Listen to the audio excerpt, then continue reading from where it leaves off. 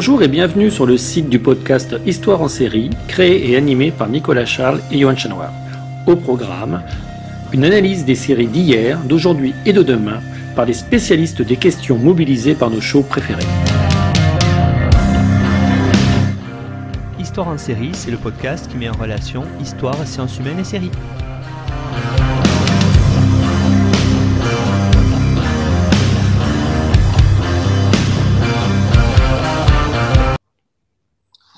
Bonjour à tous, bienvenue dans Histoire en série où je reçois aujourd'hui Valériane Edmond-Mariette. Bonjour Valériane.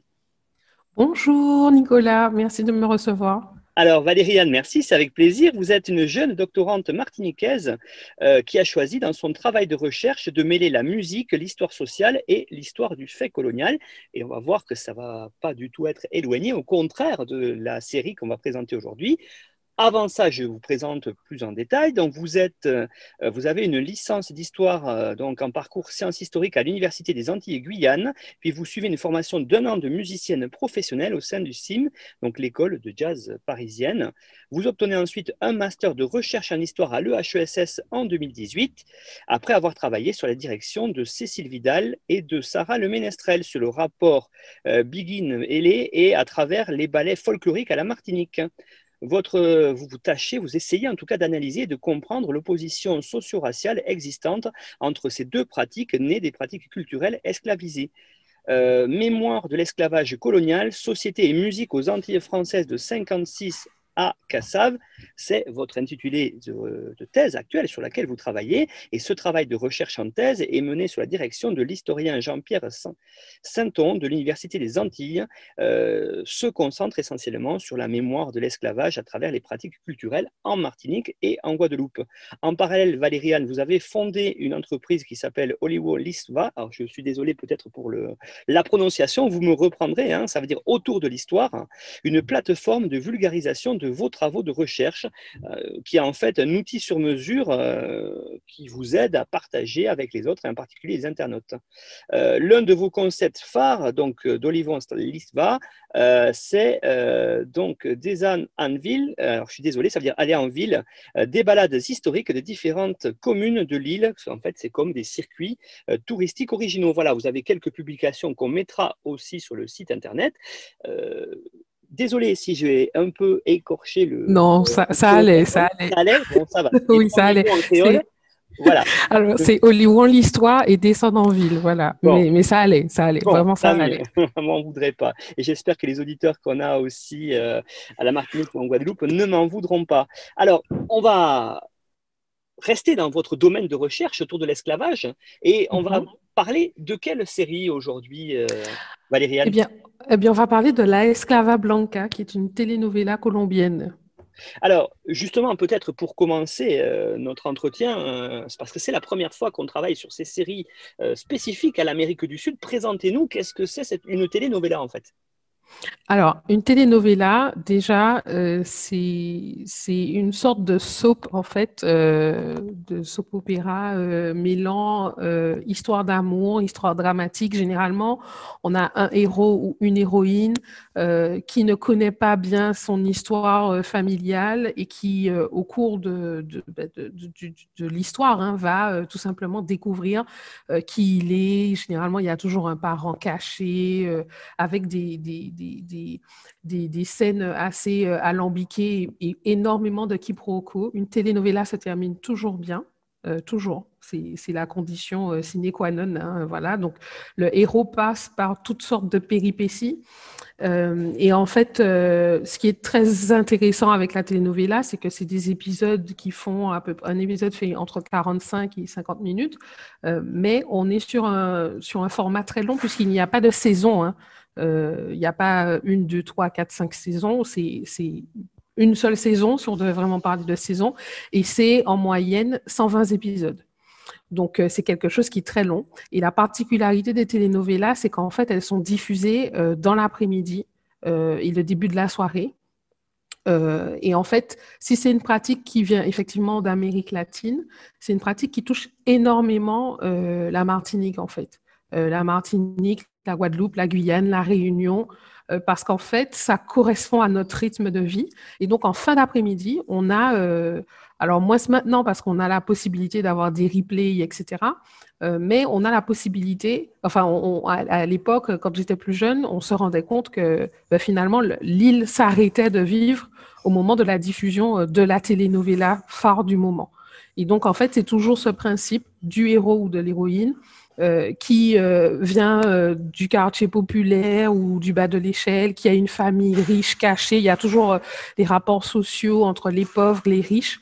et généralement, la telenovela, c'est un support qui finalement permet de parler de questions de société, euh, de sociétés donc, qui peuvent euh, jalonner à la fois euh, ben, tout ce qui va être social en termes de hiérarchie sociale, les riches, les pauvres, mais aussi des questions, ça peut être des questions d'écologie, ça peut être des questions de gestion de biens, enfin voilà. Donc il y a toujours une grande entreprise avec celui qui travaille au bas de l'échelle, le chauffeur, etc. On a des personnages assez emblématiques.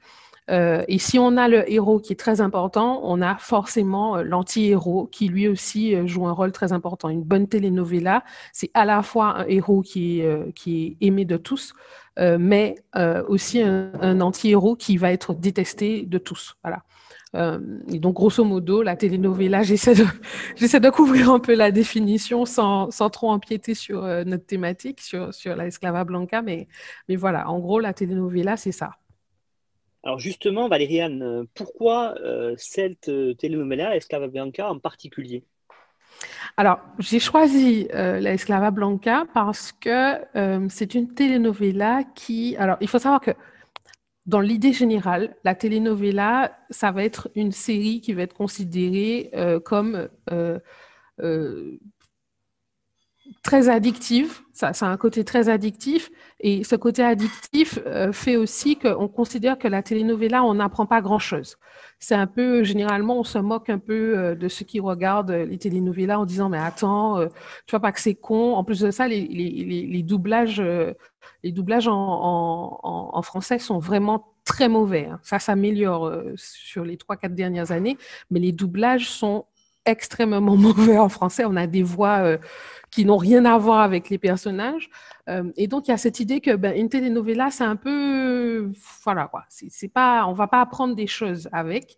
Euh, c'est vraiment euh, l'histoire dramatique, des épopées, des histoires d'amour, mais voilà. Et en fait, ce qui est très intéressant avec l'esclava blanca, finalement, c'est qu'on se retrouve avec une telenovela colombienne qui est, créée par Caracol Television, qui est euh, une société de production privée de telenovelas en Colombie. Parce qu'il faut savoir que dans l'Amérique latine, on a vraiment des, énormes studios, en fait, hein, qui produisent des telenovelas à tire-larigot parce qu'elles sont, euh, sont vraiment diffusées euh, partout dans le monde. Il y a une vraie demande. Et donc, la Esclava Blanca, rapidement, c'est une telenovela qui sort en janvier 2016 et qui finalement aborde la thématique de l'esclavage, ce qui est euh, complètement inédit euh, pour une telenovela colombienne, de cette manière-là plus précisément, puisqu'en fait, on va s'intéresser euh, à la fois à l'héroïne qui s'appelle Victoria, mais je reviendrai là-dessus. elle est, c'est voilà, c'est, c'est une fille de colon qui finalement, elle, est, elle est bébé au moment où son hacienda est brûlée, donc elle est recueillie par sa da, enfin ce qu'on appelle les da en Martinique, donc ces esclavisés qui se sont occupés, euh, qui, ont, qui, ont, été des nourrices en fait, hein, pour, euh, pour les enfants des maîtres. Euh, et donc, elle est recueillie par, par Lorenza. Et, en étant recueillie par Lorenza, elle va être élevée dans un palenque, donc dans un camp de, de marron.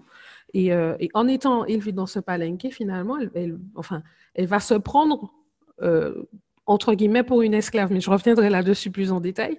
Mais ce qui est très intéressant, c'est que c'est la première fois dans une telenovela qu'on voit autant de personnes noires, qu'on voit autant de personnes noires dans des situations de pouvoir et, avec une forte euh, euh, euh, agentivité, avec, avec des combats menés, avec une résistance, parce que généralement, les telenovelas, ben, on va avoir des personnes très très claires de peau, blanches, qui vont être euh, très riches, etc. Et puis, on va avoir un ou deux personnages alors, pas forcément noir avec une carnation très foncée, mais on va avoir deux, trois personnages colorés, si je peux dire les choses ainsi, entre guillemets, qui vont forcément être domestiques, euh, ou le chauffeur, ou euh, euh, la fille de la rue qui passe par là, etc. Et autre élément qui, qui vraiment est, vraiment impressionnant dans cette telenovela, qui, qui est aussi inédit, c'est que l'histoire d'amour de l'héroïne principale, donc Victoria, qui est blanche, Victoria est amoureuse d'un homme noir. Et ça, c'est quelque chose qui ne se faisait pas, qui ne se voyait pas, euh, puisque ben, dans les théories euh, euh, racistes, comme vous pouvez le savoir, ben, le fait qu'un homme noir soit avec une femme blanche, c'est un acte de transgression ultime. Donc là, on a vraiment le renversement des choses. Et en fait, cette telenovela... Euh, où en fait tout se déroule à partir de 1821, donc on est après la libération de la Colombie par Bolivar. Euh, ça se passe à Santa Marta, qui est une, ville qui a été fondée par les colons espagnols dès leur arrivée, une ville dans laquelle, euh, au cours du XVIe siècle, il y a eu une insurrection euh, d'esclavisés et où en fait la ville a été brûlée et mise à feu et à sang. Et donc, on a, on a dans ce contexte-là, en 1821, donc voilà, on est après l'abolition de la traite de manière internationale, on a Victoria, qui est cette jeune femme blanche bébé à l'époque, qui est élevé, qui est sauvé des flammes par Lorenza, euh, sa nourrice esclavisée, euh, et qui va, qui va grandir dans euh, le palenque. Et huit années plus tard, huit ans après, donc elle a 11 ans à ce moment-là à peu près, elle est retrouvée par les, autorités de Santa Marta. et alors qu'elle grandit avec Miguel, qui va être l'amour de sa vie et, justement l'homme dont elle est amoureuse, Miguel qui est un fils qui est un métis, qui est fils de Sarah, qui est une esclavisée, euh, qui elle aussi s'est enfuie euh, de l'habitation El Eden après qu'elle ait brûlé. Euh, et donc le fils de cette esclavisée et de, de, Nicolas Parigno, qui est le méchant de la telenovela, qui est un méchant très très bien joué et très très bien incarné par l'acteur Miguel de Miguel. Et en fait, euh, voilà, donc on retrouve Victoria dans le palenque, le palenque passé euh, à feu et à sang à son tour. Donc, euh, ben, finalement, tous ceux qui étaient, tous les marrons sont réduits en esclavage ou tués. Et Victoria, elle, réussit à s'enfuir alors que l'homme de main, qui s'appelle Morales de, Nicolas Parigno, son homme de main, tente de la tuer. Elle s'enfuit, elle est recueillie par le prêtre euh, de Santa Marta, le, père Octavio. Et en fait, lui, comme il comprend qu'elle est euh, l'héritière euh, de l'Hacienda El Eden et donc qu'elle pourrait hériter des biens de son père qui ont été finalement brûlés et volés par Nicolas Parigno, elle se, enfin, il décide de la sauver en l'envoyant dans un couvent en Espagne pour qu'on ne sache pas qu'elle a survécu. Parce que si elle a survécu, Nicolas Parigno va tenter de la tuer, va, va trouver un moyen de l'assassiner pour récupérer euh, euh, tous ses biens, en fait. Et 12 ans plus tard, donc en 1841 à peu près, on se retrouve euh, dans la figuration suivante, dans le contexte, dans la configuration suivante, pardon, avec Victoria, qui est dans ce couvent euh, en Espagne, qui est très amie avec une, autre jeune novice qui est là avec elle, qui s'appelle Remedios, qui va être euh, finalement son adjuvante. Euh, et en fait, avec Remedios, elle trouve une, parade pour revenir en Colombie. Elle va, puisque Nicolas Parigno attend que sa future épouse, qui est une, une marquise, la marquise de Bracamonte, euh, il attend qu'elle arrive, donc elle va se faire passer pour la marquise de Bracamonte pour euh, revenir en Colombie et sauver sa famille, comme elle dit, puisqu'elle euh, elle veut libérer sa famille. Donc voilà, j'ai essayé, je sais que c'est tortueux, c'est une telenovela, mais j'essaie de, de, de, dépeindre un peu les choses comme ça, et voilà c'est justement, c'était assez clair. On, voit bien hein, les grandes problématiques qui commencent à apparaître autour de ça. Alors, peut-être, en première vraie question, euh, Valériane, je voulais voir avec vous euh, en quoi euh, cette telenovela particulièrement a révolutionné ce milieu, vous l'avez dit, qui est si particulier dans le, dans le domaine des séries. Alors oui, Effectivement. Alors, ce qui est particulier, euh, et il y a quelque chose que j'ai oublié de vous dire concernant mon choix euh, précédemment, c'est qu'en fait, euh, les telenovelas, comme je disais, rencontrent un vrai succès chez nous. ça fait partie de notre culture. moi, j'ai une trentaine d'années. Je, je, peux citer une douzaine de telenovelas au moins qui ont énormément fonctionné à la Martinique et qui ont énormément été diffusées euh, avec des exemples comme par exemple l'un des héros de telenovela euh, qui, chante et qui est venu faire un concert à la Martinique où en fait on a eu toutes les ménagères euh, qui ont participé à ce concert et qui étaient en émoi comme, comme des fans de Michael Jackson face à ce dernier avec des scènes de femmes qui tombent dans les pommes. C'est une réalité. mais, mais ce qui est très intéressant, c'est qu'en fait, à travers les telenovelas, nous nous voyons, parce qu'en fait, on, voit des, sociétés qui ressemblent à celles dans lesquelles euh, on évolue. Euh, et c'est d'ailleurs pour ça qu'on a un, réalisateur martiniquais qui s'appelle Gilles Elie Dikouzac qui a fait un documentaire sur, euh, sur, sur, sur, sur, cette passion finalement pour les télénovelas à la Martinique, à la Guadeloupe, à la Guyane et à la Réunion. Euh, ça s'appelle Je nous sommes vus et ça dure 52 euh, minutes. Et en fait, c'est toute cette idée de drame, de, passion, de rêve, d'histoire d'amour. Ça fait voyager, on voit des paysages qu'on ne connaît pas, etc. etc. Euh, et finalement, le caractère particulier de l'esclava blanca et de ce choix, c'est aussi parce que nous n'avons pas de, séries qui représentent ce qu'aurait pu être euh, ce qu'a pu être plutôt euh, l'esclavage euh, aux Antilles aux Antilles françaises notamment. Alors c'est vrai que la Colombie et la Martinique, c'est pas la même chose. Hein. Il, y a, il, y a, des grandes différences, juste déjà la taille du territoire. Et la Martinique, c'est une île. mais il y a des éléments qui sont transversaux et qui sont communs. Et finalement, quand on regarde bien dans le paysage audiovisuel français, on a euh, la série euh, Tropica-Mer de Jean-Claude Barny avec une collaboration euh, avec Virginie Braque et Myriam Koutias, qui a eu, qui a rencontré un, vrai succès hein, chez nous, mais qui finalement est plutôt formel, entre guillemets, si je peux dire les choses ainsi, qui est quand même très normé, qui reste dans le cadre. Et il y a eu aussi le film Casse départ de Thomas Gijol et de Fabrice Eboué, qui lui n'a pas reçu euh, un accueil aussi bienveillant euh, que la série euh, Tropica Mer, puisqu'il y a eu tout un débat sur la représentation des personnes mises en esclavage, avec aussi cette considération que ben, ce sont des... C'était trop, trop drôle. On ne peut pas parler d'esclavage de manière aussi drôle.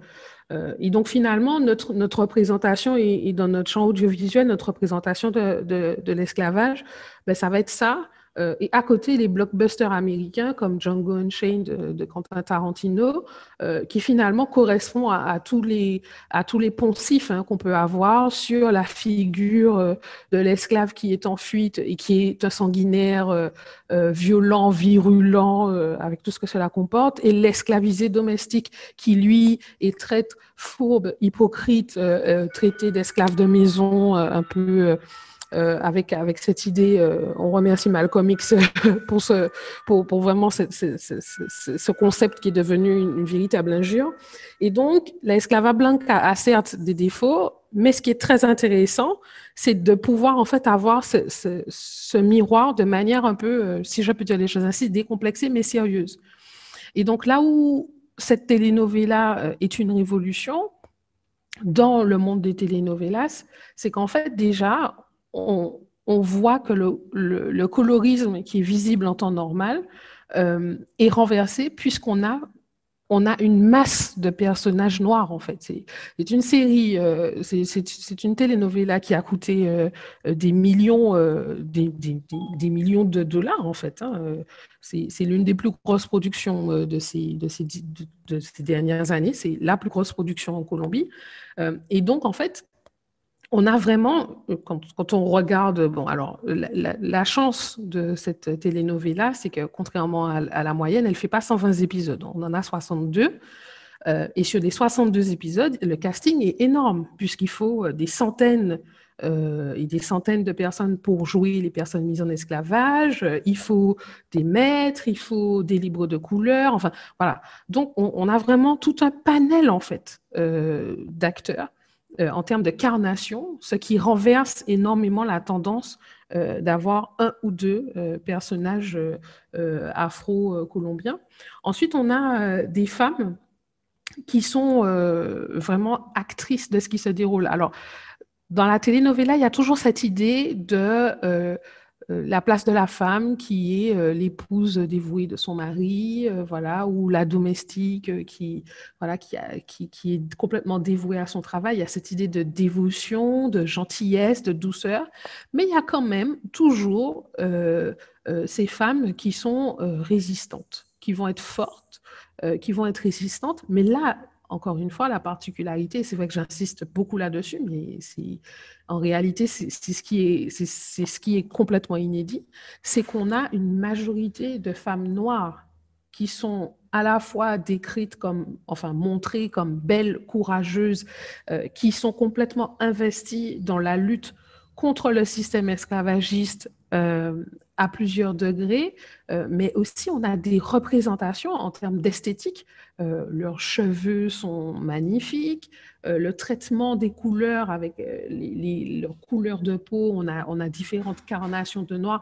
C'est vraiment, c'est vraiment très très bien montré et très très bien traité en fait. Donc elles sont pas, parce que généralement quand on regarde une telenovela, quand on a l'habitude d'en regarder, on voit la différence en fait entre celle qui, ben, enfin, on, voit la différence entre la Esclava Blanca et les autres.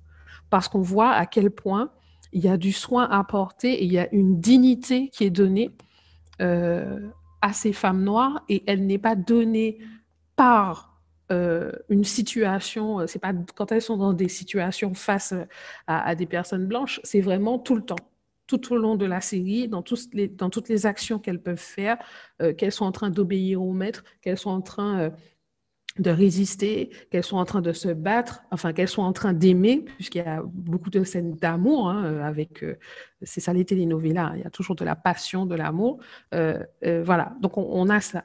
Et puis ensuite, on a ce couple mixte inversé, avec Victoria qui est blanche, euh, et, là-dessus, ils ont choisi une actrice qui est vraiment blanche. enfin, je veux dire, elle, est, blanche euh, avec une peau euh, qui, est, presque laiteuse, en fait. Elle a vraiment cette, blancheur, si je peux dire les choses ainsi. Et elle est amoureuse de Miguel, qui est cet homme né dans un camp de marron, donc qui naît libre et qui finalement se retrouve mis en esclavage euh, lorsqu'il a un peu plus d'une dizaine d'années.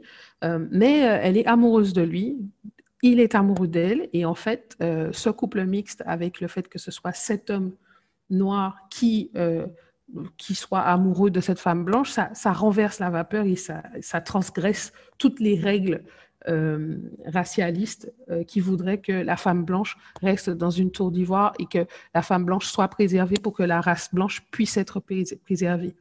Euh, ensuite, le titre, euh, la Esclava Blanca, euh, qui, qui, en fait, qui est un parti pris. Hein, alors, en France, il y a eu aussi, on, l'a aussi appelé Victoria, cette telenovela, mais en Colombie, c'est La Esclava Blanca, avec ce sous-titre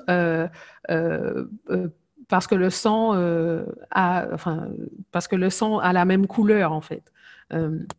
et donc, en fait, l'idée, c'est vraiment de montrer Victoria comme une esclave, alors je reviendrai là-dessus, euh, et de montrer en fait finalement son parti pris et comment elle se considère comme euh, étant finalement afro-colombienne. Et là, je reviendrai dessus, c'est le petit teaser. enfin, là où ça a créé un, y a, enfin voilà, c'est sans précédent, cette, la Esclava Blanca, c'est qu'à la Colombie, euh, bien entendu, il y a eu une énorme audience. Euh, beaucoup de personnes ont été fascinées parce que ça montrait euh, l'étendue de la beauté euh, de, la Colombie et notamment de la côte caraïbe, puisque c'est tourné entre Carthagène, Santa Marta, etc. et donc, en fait, il y a vraiment ce, il y a des scènes où on voit, on voit l'océan, on voit la forêt, enfin voilà, c'est pittoresque, ça donne envie de, de partir en voyage là-bas. et à côté de cela, à côté de cette critique euh, qui a, enfin, de, oui, de cette critique qui a été formulée, on a aussi euh, euh, plusieurs autres critiques qui, elles, sont beaucoup, enfin, sont, un peu plus négatives ou un peu plus mitigées. D'abord, celle de la représentation des personnes mises en esclavage, avec notamment les habits. Alors, on a des habits qui sont extrêmement colorés. Hein, ça donne un côté presque, ça ressemble presque un peu, si je peux faire, faire, euh, faire la comparaison à un clip euh, de musique pop, en fait. Euh, on a des couleurs très, très acidulées, très punchy, voilà. Et donc, il y, a, y, a y, a, des critiques de telenovela, parce que c'est un métier hein, là-bas, il y a des critiques de telenovela qui, qui ont dit, bon, ça, ça donne peut-être un côté un, côté un peu trop tendance, un peu trop... à la mode aux personnes qui ont été mises en esclavage. Il ne faut pas oublier qu'elles étaient mise en esclavage. Mais si c'est vrai que ça ajoute de la couleur, pour ma part, euh, ce, qui est, un avis euh, très personnel, je pense que ça n'enlève rien à la dureté euh, des scènes qui sont montrées et, je vais développer ça un petit peu plus loin. à côté de cela, beaucoup ont été choqués par la violence. Parce que tout au long des 62 épisodes, ben, on est dans le système esclavagiste, donc on a des scènes de violence qui sont euh, euh, crues, hein, qui sont vraiment plutôt crues. Euh, on a vraiment des, scènes de violence et, je vais détailler ça un peu plus loin. Mais, ces scènes de violence et le fait d'avoir aussi... alors, il y a autant de la violence physique que de la violence verbale. Et parmi la violence verbale, les reproches qui ont pu être faits, c'est l'emploi du mot nègre qui finalement, en Colombie, quand on dit négro, euh, c'est vraiment, euh, finalement, il y a cette connotation euh, raciste, en fait, complètement. Enfin, c'est péjoratif. Il a pas de, c'est un peu comme le N-word aux États-Unis. Alors que, donc, enfin, donc il y, a eu tout un débat sur non, il faut dire afro, afro-colombien. alors certains disent qu'à l'époque, on n'aurait pas parlé comme ça, d'autres disent mais oui. Donc ça a créé tout un débat finalement sur la terminologie pour parler de ces personnes à la peau noire euh, et qui sont colombiennes et qui sont descendants euh, d'esclavisés. De, euh, et puis, à côté de cela, de manière plutôt unanime, les critiques se sont énormément réjouis du fait qu'une telenovela montre enfin que l'esclavage fait partie intégrante de l'histoire de la Colombie et que les Colombiens ne sont pas juste descendants de colons, mais qu'ils sont aussi descendants de personnes qui ont été mises en esclavage. Et donc, que les Afro-Colombiens ne sont pas une partie euh, du pays ou une sous-partie ou une sous-catégorie, et qu'en fait, l'histoire de l'esclavage est commune. Et que tout le monde a, enfin, tout le monde a un ancêtre qui a joué un rôle dans ce système euh, qui est, bien entendu, et sur ça, il n'y a, pas a pas eu de débat euh, apparemment euh, parmi les critiques, mais sur ça, voilà, c'est notre histoire à tous et c'est une histoire qui est dramatique et il est temps qu'en Colombie, on comprenne que les Afro-Colombiens sont complètement colombiens. Voilà.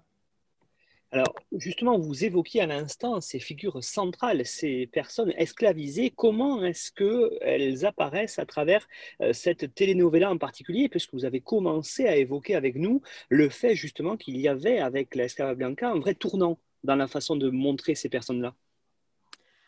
Alors, déjà, premier élément, euh, ils ont tous un destin.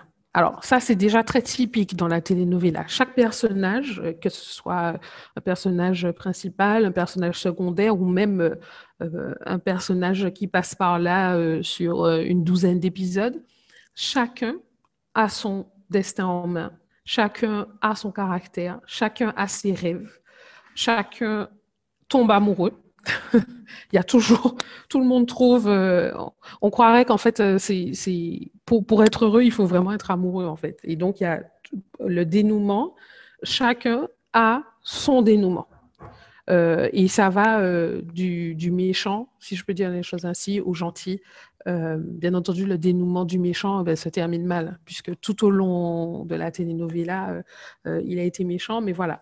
Et donc, on a vraiment des, des, des personnes qui sont en situation d'esclavage, qui ont été mises en esclavage, qui ont l'habitude d'être montrés comme un bloc monolithique, avec euh, ben finalement, euh, ils sont tous contre, ou bien, euh, ou bien des sous-parties monolithiques. Donc, les esclaves domestiques, eux, vont être des nègres de maison, soumis, etc. Euh, les esclaves des champs, eux, vont être plutôt rebelles. Euh, ben non, ben là, en fait, on, voit vraiment les différents. On, a, on, peut faire, euh, je pourrais vous faire, mais je ne le ferai pas, une fiche sur chaque personnage et vous expliquer son parcours. Chaque personnage mériterait qu'on s'y arrête parce qu'il y a vraiment, pour chaque personnage esclavisé, un destin. Ce qui est finalement la, plus grosse surprise, entre guillemets, euh, si on peut dire. Euh, et donc, chacun connaît le monde qui l'entoure. Ils, ont, conscience de l'actualité, notamment à cette période-là euh, en Colombie. Il y a tout un débat autour de la loi du ventre libre qui voudrait que, enfin, qui, serait, qui est la suivante, en fait, que quand une femme esclavisée est enceinte, euh, à partir, euh, alors je ne pourrais plus dire l'année exacte parce que ça dépend des, des, régions, mais à partir, euh, voilà, enfin, en tout cas dans, dans la telenovela qui nous intéresse, ils, ont, ils ont transposé les choses ainsi. Miguel, qui naît en 1822, donc Miguel, l'amoureux de Victoria, qui naît en 1822, a le droit de devenir libre à partir de ses 18 ans parce que la loi du ventre libre, euh, dans cette région, même si euh, là c'est romancé, hein, c'est pas pas pas comme ça que ça s'est passé exactement, mais il devrait être libre à partir de ses 18 ans. Donc on a des personnes qui sont au courant, voilà, on, ils sont pas dans un vase clos, euh, voilà, et, donc on a vraiment cette idée de chacun son destin. Et ça c'est une notion que je trouve vraiment très importante et que je trouve très intéressante parce qu'on sort du concept euh, euh, du bloc monolithique, les esclaves. Voilà. Les esclaves, c'est eux, et puis ils souffrent, et puis c'est fini. Non. Voilà. On, a vraiment toute cette dynamique-là. À côté de ça, on a d'importants moyens mis en œuvre pour montrer la violence, les violences subies et les violences exercées. Donc les violences subies, qu'elles soient physiques, euh, par exemple, dès le départ, euh, l'une des premières scènes au bout de dix minutes euh, lors du premier épisode, c'est Sarah, la mère de Miguel, qui est fouettée par Don Nicolas, donc son maître. Don Nicolas, je rappelle, qui est le méchant. Voilà. et donc, elle est fouettée, mais, il la, enfin, voilà il, la déshabille pour la fouetter. et en même temps, on comprend qu'il y a une stratégie de la part de Sarah parce qu'en fait, euh, Don Nicolas est éperdument amoureux de Sarah. Euh, voilà. Et donc, le soir, euh, donc après l'avoir fouetté, il lui dit Oui, déjà, il lui dit Je préfère te fouetter, comme ça, on va pas trop t'abîmer. Parce qu'en fait, plus tard, il a besoin ben, de la violer. Donc, il y, a, y a, toute cette scène, en fait. On voit toute la violence et tout ce que cela représente, et on voit avec quelle dignité Sarah euh, avec quelle dignité Sarah vit l'événement et comment elle met en place une stratégie, euh, puisqu'à la suite de cela, elle va s'enfuir. Euh, à côté de ça, on a les violences verbales, notamment généralement qui sont, omniprésentes tout au long de, de, la telenovela, mais, mais Donia Adela, qui est la mère de, Don Nicolas, c'est son domaine d'expertise, si je peux dire les choses ainsi, la violence verbale. Euh, et les violences psychologiques, en fait, elle, elle crée euh, ce rapport de peur euh, et, pour, que, pour que les esclavisés aient peur d'elle. Et donc, il y a plusieurs scènes où en fait il y a cette espèce de, mépris où, où, elle va mépriser les esclavisés, elle va, elle, va les traiter de tous les noms, elle va, elle va hurler, voilà. Donc ils sont tout le temps, ils savent pas sur quel pied danser avec elle finalement. et puis autre aspect des violences psychologiques, encore un autre exemple qu'on doit cette fois à Don Nicolas, c'est par exemple il viole une esclave qui s'appelle Bunmi. et en fait Bunmi est amoureuse de sa maîtresse. Je reviendrai là-dessus. et il a, il a pris Bunmi à sa maîtresse. Et, et, donc, il la viole et en la violant, il lui dit Si tu ne te laisses pas faire, je vais tuer ta maîtresse.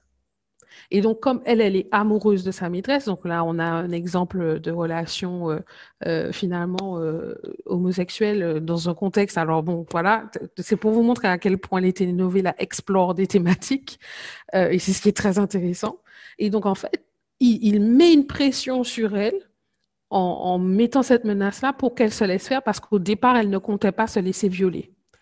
Donc, finalement, elle se laisse faire et on voit comment euh, ça la mine, en fait, et, comment, comment elle perd confiance en elle et, tout le processus, etc. Donc, on a des violences euh, dans chaque couche et dans, dans, chaque rouage de cette société. La violence est omniprésente. Et puis, à côté de cela, on a des violences que vont exercer les esclavisés. Donc, avec des tentatives d'empoisonnement, des affrontements, des enlèvements. Pour la petite histoire, quand Victoria revient euh, en se faisant passer pour la marquise de Bracamonte, Miguel ne sait pas qu'elle est la marquise de Bracamonte. Il ne sait pas qu'elle a survécu. Personne ne sait si Victoria a survécu.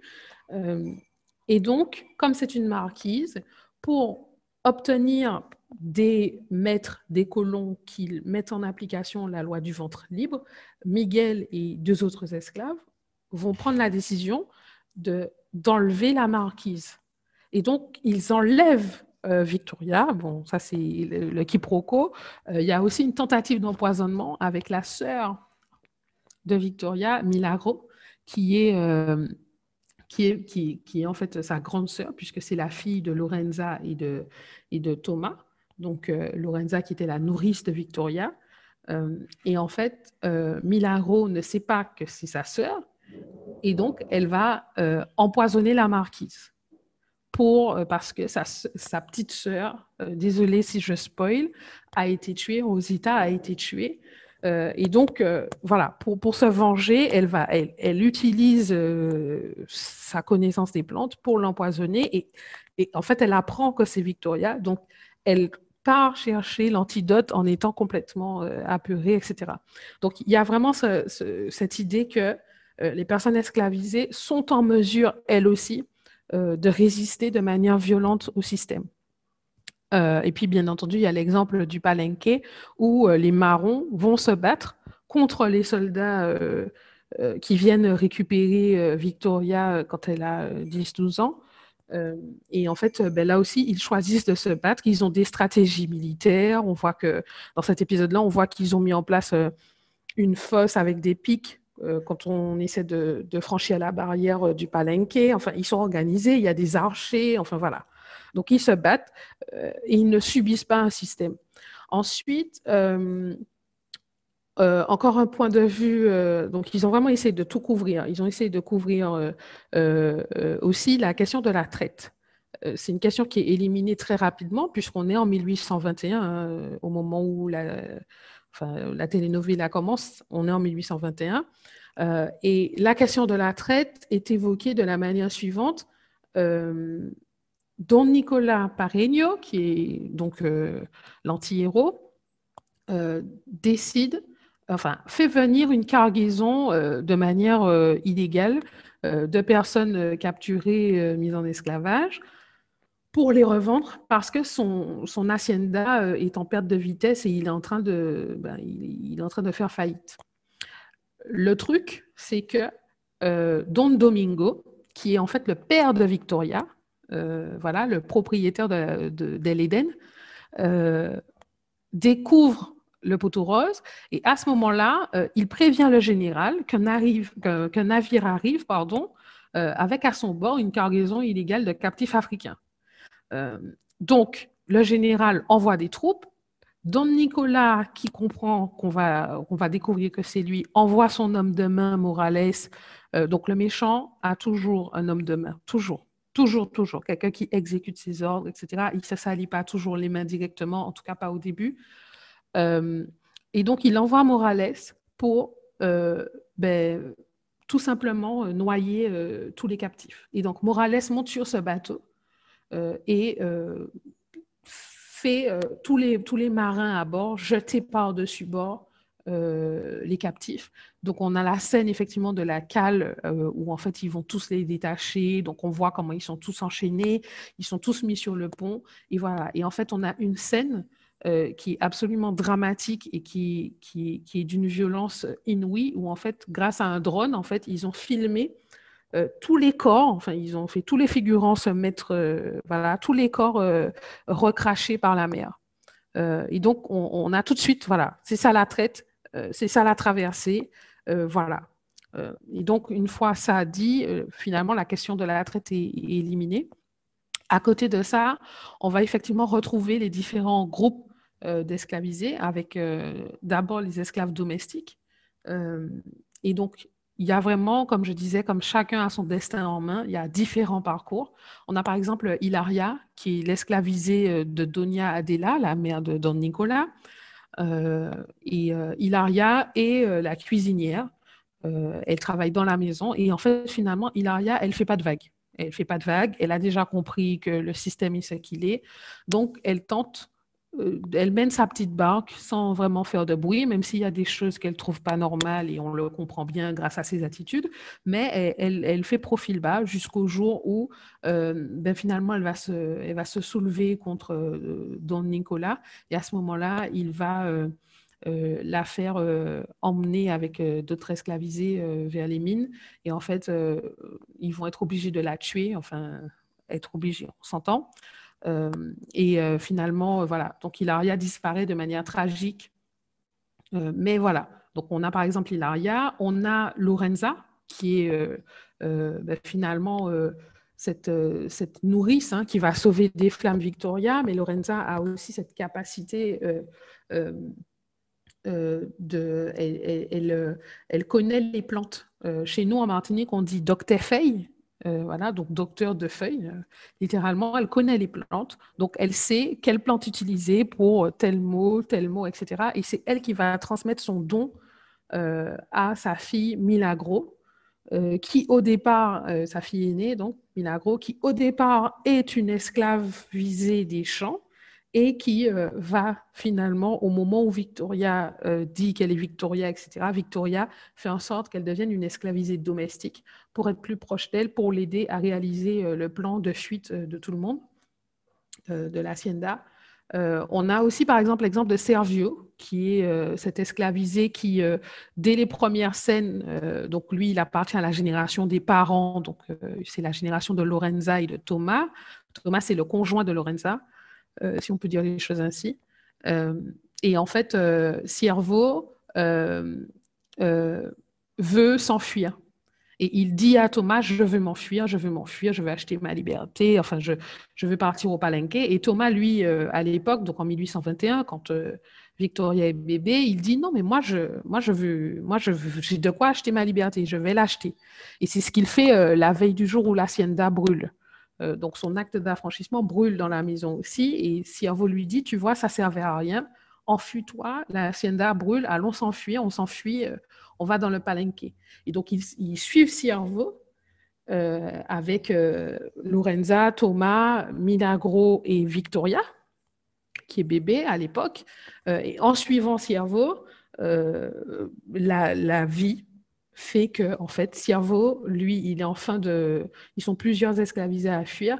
Il est en fin de, de, convoi et, en fait, euh, euh, les maîtres lâchent les chiens. Et quand ils lâchent les chiens, ben, Ciervo, se, se, fait euh, dévorer le tendon par un chien. Donc, scène de violence terrible.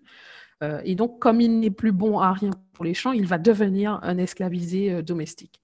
Et puis, il y a aussi l'exemple de Rosita, euh, qui est un exemple assez frappant. Rosita, c'est euh, la fille de Lorenza et de Thomas, donc la petite sœur de Milagro et de Victoria. Euh, et en fait, Rosita, ce qui est assez particulier avec elle, c'est que elle naît dans le palenque et elle a à peu près 5 ans quand ils sont de nouveau capturés, 5-6 ans, quelque chose comme ça. et Isabelle, qui est la fille de Don Nicolas, qui est à qui on prête une, à qui on prête pardon une maladie où en fait elle serait euh, elle serait, faut, faut pas qu'elle voit le soleil, euh, voilà, donc elle reste enfermée dans sa chambre euh, tous les jours, elle peut pas sortir, etc. En fait, elle, s'ennuie elle dit à son père, je veux une esclave. et son père lui offre Rosita. Donc Rosita va grandir en même temps qu'Isabelle. et en fait, elles, seront... alors c'est une relation assez particulière sur laquelle je reviendrai tout à l'heure, très certainement. Mais, mais voilà, Ensuite, on a euh, bien entendu les esclavisés des champs avec la pénibilité du travail, là aussi la pression parce qu'il faut euh, du rendement, etc. Euh, et là, on a aussi d'autres personnalités qui sont différentes. Donc, Milagros, comme je disais, qui, elle, est au départ dans les champs et qui va devenir une esclavisée domestique. on a l'exemple de Trinidad, par exemple, qui est un esclavisé des champs. Voilà, euh, c'est un homme qui, lui, euh, veut lutter pour la cause et veut sortir de, ce carcan, mais ne sait pas trop comment faire. À des moments, il est pour s'enfuir, à des moments, il est pour tout brûler, à des moments, il, est, il dit, bon, ça sert à rien, euh, autant subir, etc. Et il y a aussi l'exemple de Candela. Donc, on a différents profils qui sont très intéressants.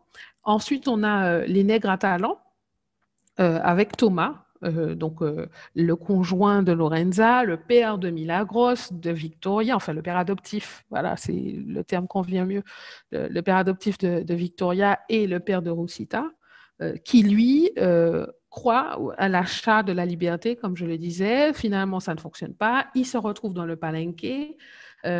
lui aussi, on voit bien son, son, parcours et on voit comment, par exemple, quand Lorenza veut s'enfuir avec la petite Victoria, qui a quelques mois, il lui dit, mais tu es folle en fait. Il est hors de question, laisse l'enfant, euh, laisse l'enfant là, euh, tu vas pas ramener l'enfant comme ça, c'est pas possible, on va nous poursuivre, on va nous tuer, etc. Et elle, elle lui dit, c'est ma fille. C'est comme si c'est ma fille. Ses parents ne sont plus là, c'est ma fille. Et si tu ne veux pas d'elle, eh ben moi, je te quitte. Donc, il y a vraiment ce, rapport. Et puis finalement, il se laisse prendre et c'est sa famille, et ce sont ses filles, et il va défendre ses filles et sa femme. Ensuite, on, a l'exemple euh, d'un achat de liberté avec euh, Angela, qui est la maman de Juan. Euh, alors, Miguel aussi est un esclave à talent. Donc, Thomas et Miguel sont. Miguel s'occupe. Miguel est éleveur de, chevaux, et Thomas est maréchal ferrand. Euh, et donc, Angela, euh, la mère de Juan, qui est un ami de Miguel avec qui euh, ils ont tenté de, de s'échapper et ils ont volé la cargaison du maître pour avoir de l'argent pour pouvoir acheter leur liberté. Ça n'a pas marché. Juan s'est fait arrêter, il se fait tuer. et quand il se fait tuer, Miguel donne l'argent à Angela pour qu'elle puisse acheter sa liberté. Euh, et donc, euh, c'est ce qu'elle fait. Euh, à côté de cela, on voit aussi comment, tout au long de la vie de ces personnages, mais aussi tout au long de la série, on a un terme qui revient souvent, c'est la causa, la cause. voilà, et c'est l'abolition. Alors, ils vont pas tellement utiliser, ils vont utiliser le mot abolition, mais ils vont surtout dire la, la causa, avec, donc, tout au long des 62 épisodes, on se rend compte qu'il y a des actes de résistance qui sont constants, des stratégies tout le temps. Ils sont tout le temps en train de penser à comment sortir, euh, se soutenir, éviter les coups, euh, éviter les différents châtiments, euh, travailler pour avoir suffisamment d'argent pour pouvoir être libre. Enfin voilà, il y, a, toujours comme ça cette quête. Il n'y a pas un moment où euh, même si on peut avoir un personnage qui à un moment donné va être désespéré, mais il n'y a pas un moment où il n'y a pas quelqu'un, il n'y a pas l'un d'entre eux qui lutte pour la cause et pour pouvoir libérer tous les autres.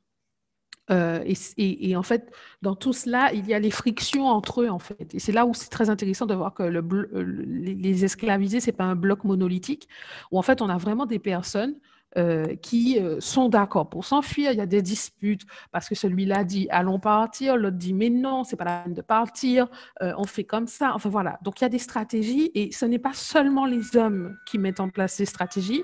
Ce ne sont pas seulement les hommes qui décident de ce qui va être fait. Les femmes jouent, un rôle important dans cela et, en cela, ça me fait penser beaucoup à l'ouvrage de Gilbert Pagot, historien martiniquais, Les femmes et la liquidation du système esclavagiste. il raconte comment finalement les révoltes les plus réussies à la Martinique sont celles où les femmes se sont impliquées. Et on a vraiment euh, une agentivité des femmes qui est extrêmement importante euh, et qui jalonne euh, tout, tout, le déroulé de la telenovela.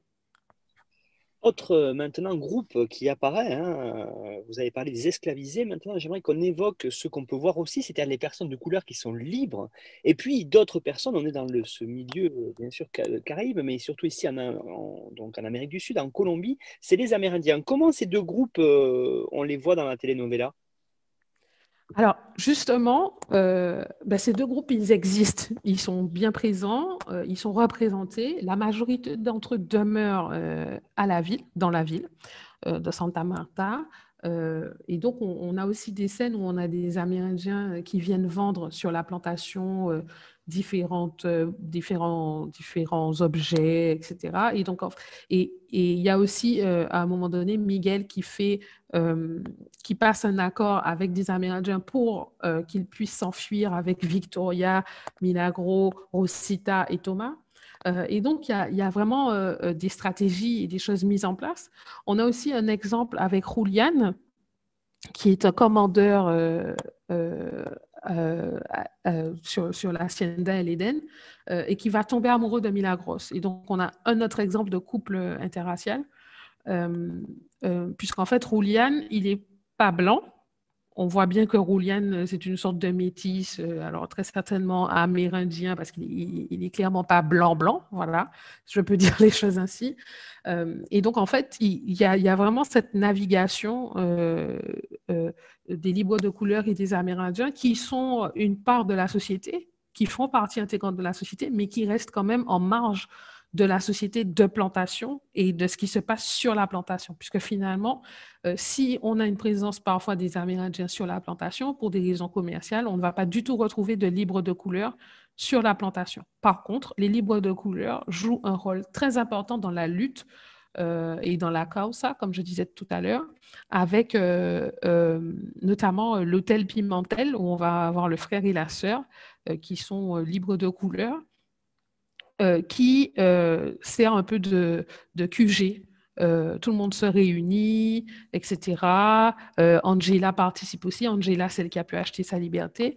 et donc, il y, a vraiment cette organisation qui est montrée vraiment en, toile de fond. Hein. Ce n'est pas hyper prégnant, mais c'est quand même bien montré. Voilà.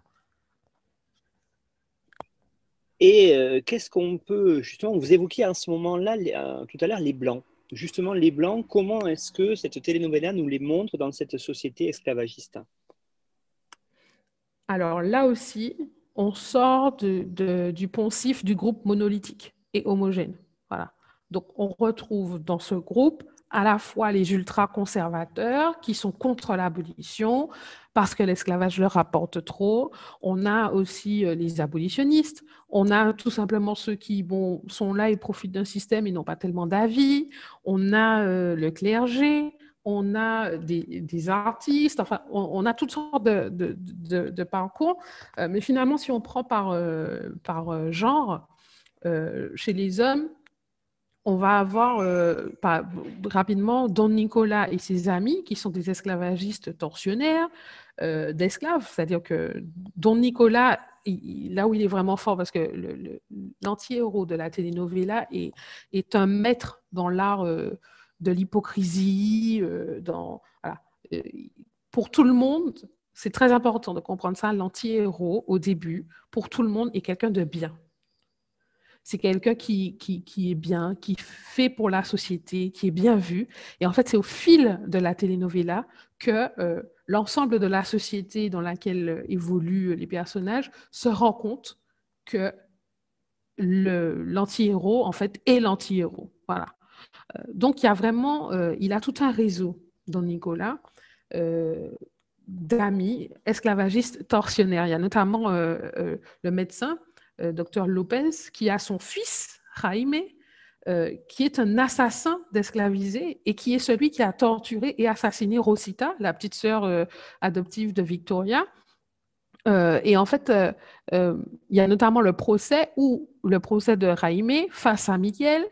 Et dans ce procès, il y a un esclavisé qui témoigne après euh, moult, euh, voilà, enfin, il a fallu le convaincre, lui dire n'aie pas peur, etc., comme vous vous en doutez. Euh, mais dans ce procès, on a quand même cet esclavisé qui témoigne et qui dit que sur la plantation de la famille Lopez, on fait les, esclavisés courir comme des lapins et que la famille s'amuse à tirer sur ce qui bouge. Et donc, comme ça, ils en ont tué quatre ou cinq. Enfin, voilà. Donc, on, a vraiment ce, profil.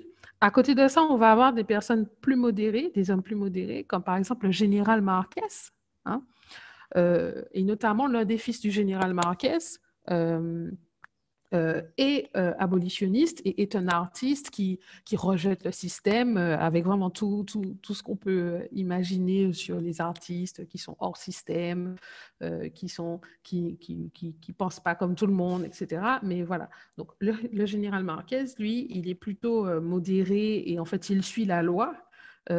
petit, petite mention quand même, le général Marquez est est très fier de l'indépendance de la Colombie et il insiste pour que, euh, à un moment donné, il a une prise de conscience dans la telenovela et il insiste pour qu'on sorte euh, finalement du rapport colonial.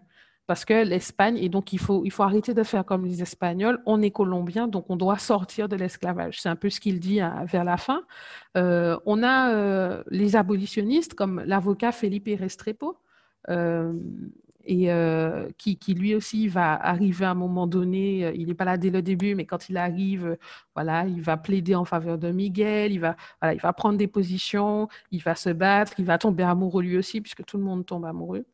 et enfin, il y a, comme je disais tout à l'heure, Morales, qui est l'homme de main de Don Nicolas, qui en fait est un pion dans son plan, euh, qui est convaincu, Morales est convaincu que dans sa relation avec Don Nicolas, il y a une certaine confiance, euh, mais rapidement, euh, il se rend compte qu'il est un pion. Hein. voilà, et donc il, finit, il finit fou dans un asile. et on a le père Octavio, euh, qui finalement euh, n'est pas. Euh, alors c'est assez intéressant parce qu'on on montre le Père Octavio comme ben, le prêtre hein, avec l'Église catholique et ce que cela comporte parce que l'Église, voilà, il, fait partie du système hein, fait partie intégrante du système. Mais en même temps, le Père Octavio, pendant très longtemps, il va garder le secret puisqu'en fait c'est lui la clé du dénouement. Il sait que Victoria est la marquise, il sait que Victoria euh, enfin que, c'est Don Nicolas qui est le méchant, et en fait il garde le silence jusqu'au dernier épisode.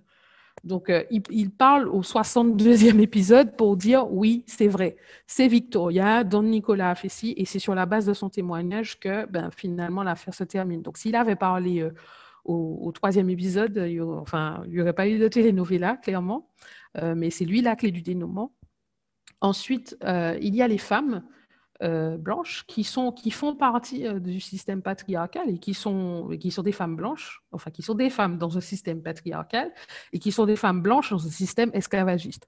Donc elles sont inférieures aux hommes, supérieures aux esclaves, mais pas à tous. Hein, euh, parce que si euh, tu es l'esclavisé et l'esclavisé de confiance de l'époux, ben, elles ont pas tellement droit à la parole. Si l'époux a décidé euh, de, de, de, les tromper, euh, entre guillemets, parce qu'on sait bien que ce sont des relations qui sont très compliquées et qui peuvent être... Euh, enfin, qui, qui, qui, sont souvent forcées avec une esclavisée, ben voilà, elle, n'a pas tellement la parole et on le voit avec Donia Adela qui finalement est la méchante, si je peux dire les choses ainsi, euh, elle est vraiment le contraire de Victoria. Euh, elle est violente, méprisante, menteuse. Elle essaie de mener euh, elle Eden à la baguette, notamment son fils. Mais pas, et, tout le temps, elle reproche à son fils le fait qu'il ait besoin d'aller, d'aller, enfin, de prendre dans son lit des femmes esclavisées. Comment tu peux t'abaisser à ça, etc. Elle est tout le temps dans, cette espèce de reproche. Et c'est là où on voit que finalement, elle n'a pas tellement euh, elle a un pouvoir, certes, mais qui reste limité. Euh, c'est ce que son fils veut bien lui laisser qu'elle peut mener à la baguette, mais pas, pas cela. Voilà. Donc, en fait, il y, a, vraiment ça. Il y a aussi l'exemple d'Anna Granados, qui est l'épouse du capitaine Granados, qui est, euh, qui, voilà, qui est capitaine, qui est blanc, qui fait partie des amis de Don Nicolas, hein, des, proches de Don Nicolas. et le capitaine Granados bat sa femme. Donc, on a Anna qui est dans cette situation de femme battue, euh, qui réussit à s'enfuir et qui va se réfugier chez Felipe Restrepo, euh, l'avocat abolitionniste, et dont elle va tomber amoureuse. Euh, voilà, ils vont, ils vont finir ensemble. Et donc, on, a, on, a vraiment l'évolution de, cette femme battue avec cette description et comment finalement ben, il y a un système violent et qu'elle-même, elle est dans un, dans un sous-système, dans ce système, si je peux dire les choses ainsi. À côté de cela, on a l'exemple d'Isabelle, Isabellita, la fille de Don Nicolas Parigno avec sa première épouse, qui est décédée notamment en donnant, enfin, en accouchant de sa fille. Euh, et en fait, on se rend compte que Isabelita ne se pose pas la question euh, du système dans lequel elle vit. Elle l'a intégré, puisque notamment dans ses rapports avec Rosita, qui est son esclave, euh, son esclavisée domestique, mais qu'elle appelle comme sa sœur, parce qu'au moment où Rosita est tuée, c'est une grande souffrance pour elle. mais elle, quand même, elle méprise Rosita, donc elle fait partie du système et elle fonctionne dans le système jusqu'au moment où elle a une prise de conscience et elle décide de sortir euh, de, ce système-là. Et puis on a euh, Eugénia, euh, cette veuve libertine qui est amoureuse de son esclave Bunmi, dont je parlais tout à l'heure, qui est une femme d'affaires et qui finalement est un peu une femme, voilà euh, qui, va être un peu le pendant des hommes, puisqu'elle est à la table des hommes, elle discute avec eux, puisqu'elle fait des affaires. Donc, euh, donc voilà. À côté de ça, il y a aussi cette fascination pour la culture espagnole.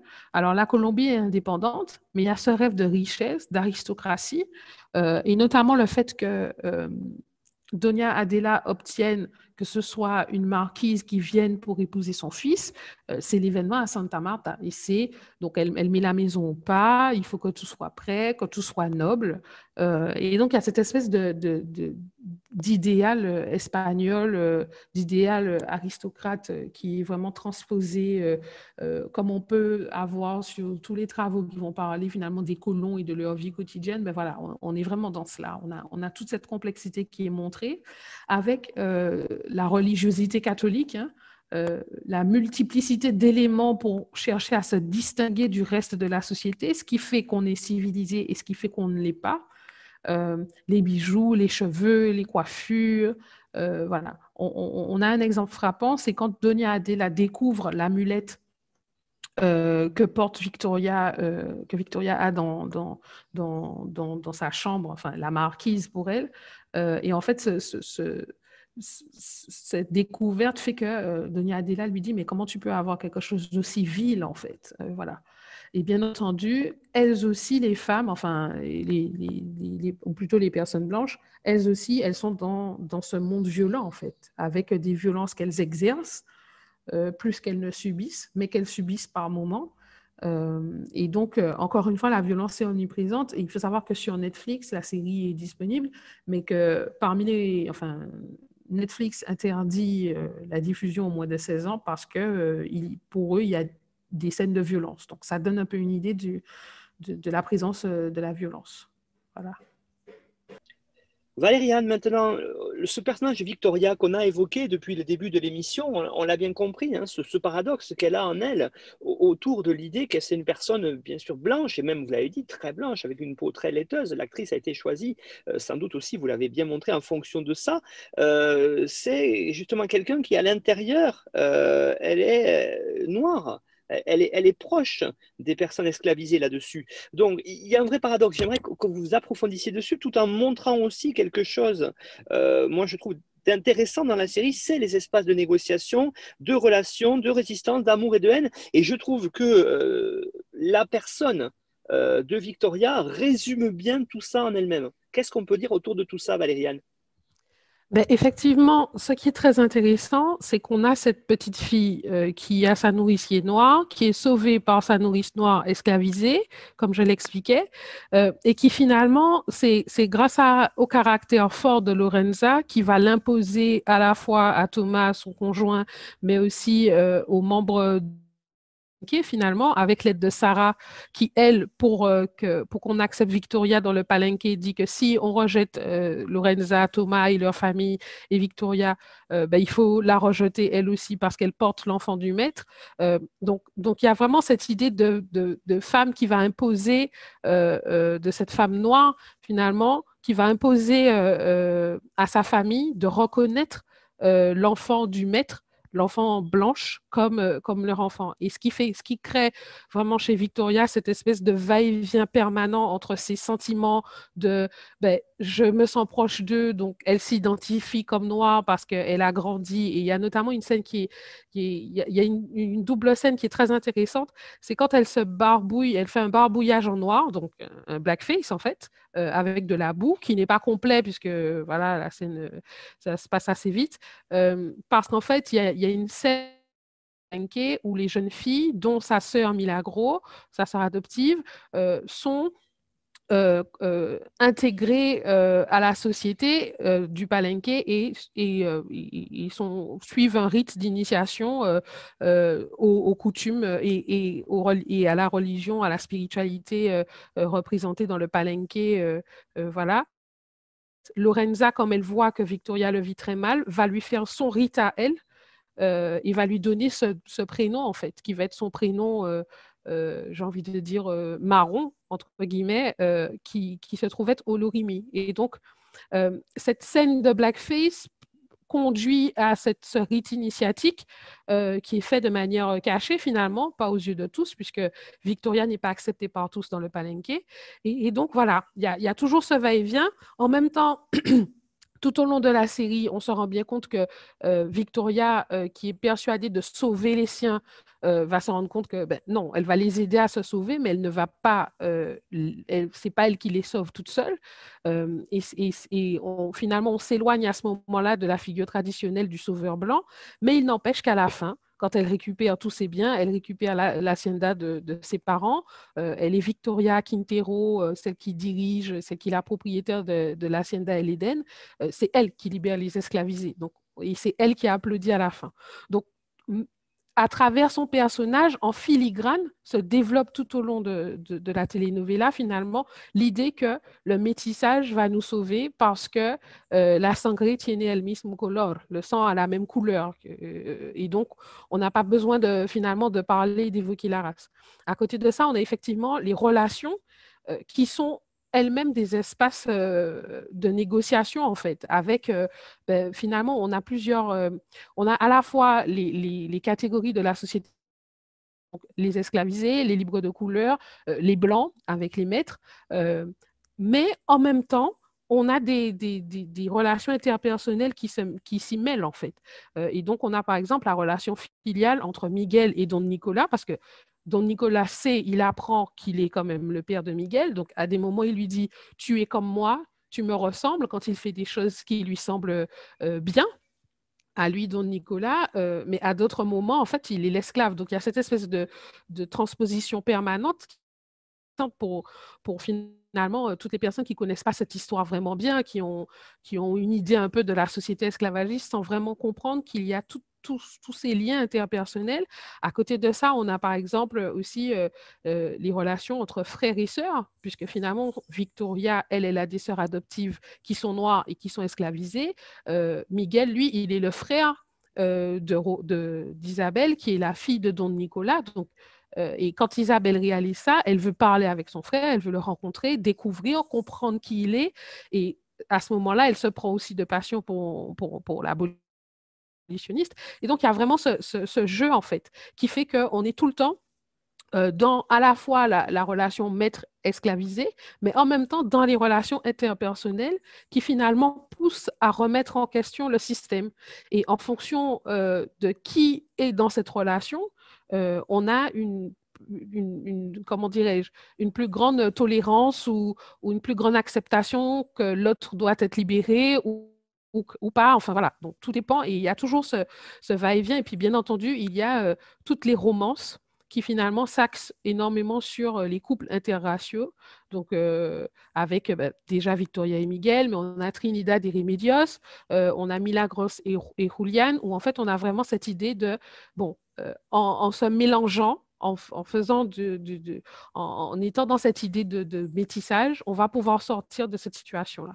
Et puis à côté de ça, euh, les lieux, les différents lieux de vie sont aussi des espaces de négociation. Et il y a un exemple qui, a été que j'ai trouvé très intéressant et qui est très proche de, ma recherche finalement, c'est l'anniversaire d'Isabellita où en fait on va avoir euh, euh, des, des, libres de couleur qui vont être invités et va être joué de la cumbia. Et la cumbia, en Colombie, c'est un peu l'équivalent de la biguine à la Martinique et à la Guadeloupe, où en fait, c'est cette pratique euh, d'esclaviser, mais qui finalement est euh, une pratique commune à la société esclavagiste, euh, même si on ne se l'avoue pas, et on va l'appeler euh, quadrille chez les maîtres pour ne pas utiliser le terme begin. Et donc, on a l'exemple avec la cumbia, qui a la même histoire, qui est une histoire similaire à la begin en Colombie, où on a cet exemple musical qui montre que ben, finalement, on danse sur les mêmes musiques et que c'est peut-être aussi ce qui fait qu'on est colombien. Valériane Elmo-Mariette, merci beaucoup pour la présentation de la Esclava Bianca dans ce, numéro du podcast où on a pu euh, aller voir vers ces telenovelas qui sont un genre que l'on n'avait pas encore étudié dans l'histoire en série. Alors vous avez donné, comme tous les intervenants et intervenantes, une bibliographie que l'on retrouve sur la page de l'émission euh, de notre site internet histoireensérie.com et puis bien sûr celles et ceux qui voudraient poursuivre la discussion, on se retrouve sur le fil Twitter de Histoire en série at Histoire Série et sur le groupe Facebook euh, de Histoire en série. À Valériane, merci beaucoup pour cette émission. Et puis à bientôt, j'espère, pour euh, une autre telenovela ou en tout cas peut-être une autre série euh, qui pourrait d'ailleurs être ou se passer dans les Antilles. Merci, merci au revoir. beaucoup. Au revoir.